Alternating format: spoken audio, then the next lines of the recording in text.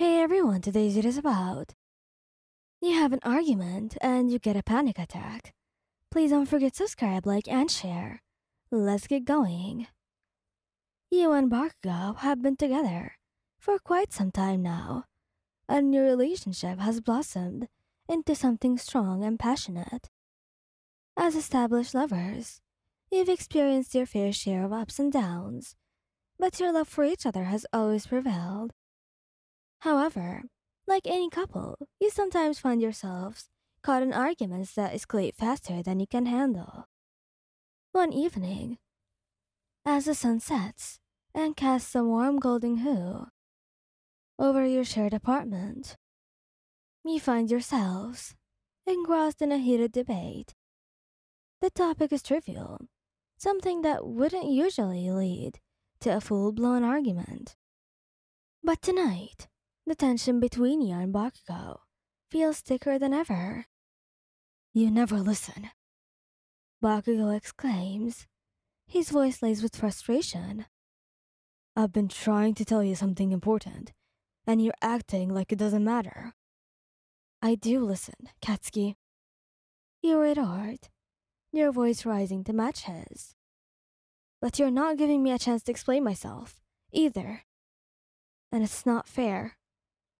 The argument intensifies, fueled by a mixture of pride and stubbornness. As emotions run high, your chest tightens, and an overwhelming wave of panic begins to wash over you. Your breath becomes shallow and rapid, and you struggle to find the words to convey your inner turmoil. Stop. You manage to gasp out, your voice trembling. I can't. I can't do this right now. Bakugo, noticing the sudden shift in your demeanor, stops mid sentence. His expression changes from anger to concern as he takes a step closer to you. Hey, hey, what's wrong? You try to form a coherent sentence, but your panic attack intensifies, making it difficult to concentrate. Tears well up in your eyes, and your hands start shaking uncontrollably. You feel overwhelmed and trapped, unable to escape the suffocating weight pressing down on your chest. Without another word, Bakugo swiftly closes the distance between you, wrapping his strong arms around your trembling form. He pulls you into an embrace. His touch both comforting and grounding. Breathe, Hwan. He murmurs. Focus on your breathing. In and out. His voice acts as an anchor, guiding you through the chaos of your own mind. You clutched onto his shirt, seeking solace in his presence. Gradually, your breath began to sink together with his, and the panic slowly subsides, leaving you exhausted but calmer. In the aftermath of the panic attack, Bakugo remains by your side, his hands tenderly cradling your face. He wipes away the remaining tears that linger on your cheeks with his thumb. His touch gentle and soothing. His eyes are filled with a mixture of regret and determination, as if willing to protect you from any harm that may come your way. You're safe now, Ion. He murmurs, his voice barely above a whisper. I've got you. I'll always have you. His words resonate deep within you, melting away the residual fear and anxiety. You lean into his touch, taking solace in the warmth of his presence. The room is enveloped in a comforting silence, broken only by the sound of your soft breath as you gradually regain your composure. As the tension eases, Bakugo's embrace becomes less tight, allowing you to breathe. He shifts to sit beside you on the couch, his arms still wrapped protectively around your shoulders. The scent of his familiar cologne brings you a sense of security, grounding you in the present moment.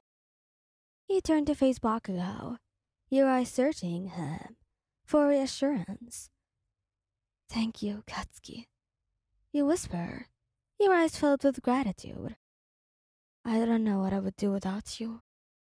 He offers you a small, understanding smile, his thumb gently tracing circles on your arm. You don't have to thank me, Wayan.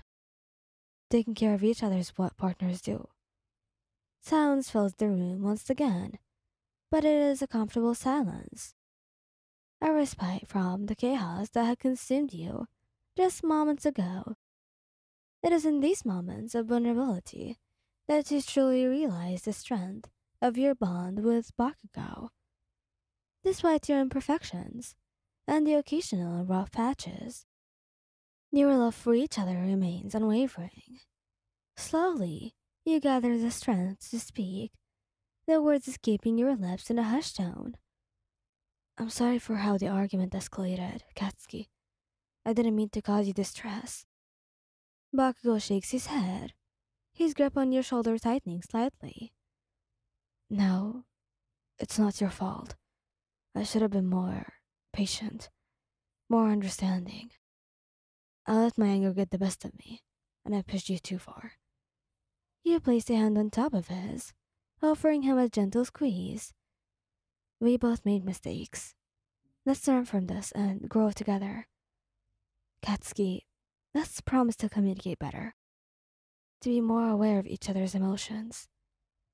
Bakugo's gaze softens, a mix of gratitude and determination in his eyes.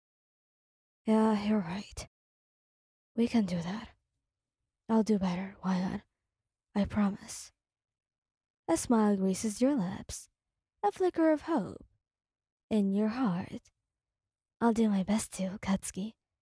We're in this together. From that moment on, your relationship takes on a new level of intimacy and understanding. You and Bakugo embark on a journey of growth, exploring the depth of your emotions and learning to navigate the rough patches with grace and empathy.